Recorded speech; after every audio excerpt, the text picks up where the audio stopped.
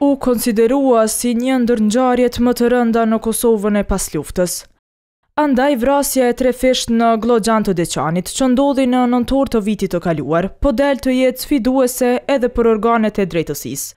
Gati një vit pas, është mbajtur veç një seancë gjyqësore, ku u dëgjuan dëshmitarët e prokurorisë, kundër Halil Mehmetaj dhe tre djemve të tij, Malsorit, Kastriotit e Kreshnikut, të cilët dyshohet se vranë Gani Gjokajn, shoferin e autobusit, si dhe Ledion Hamzajn e Gentiana Mustafajn, nga nxënësit që po barte nga Gjakova për në Deçan.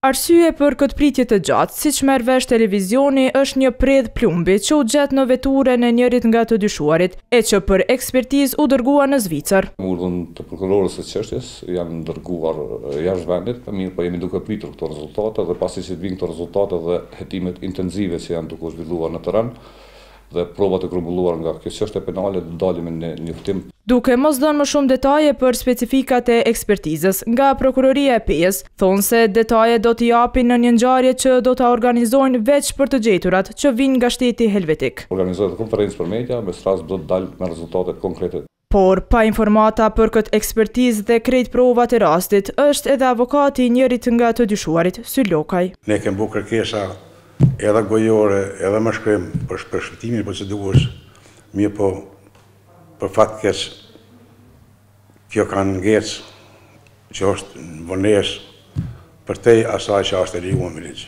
Ky kërkon që gjykata të procedojë me dëshmitarët e mbrojtjes sa më parë.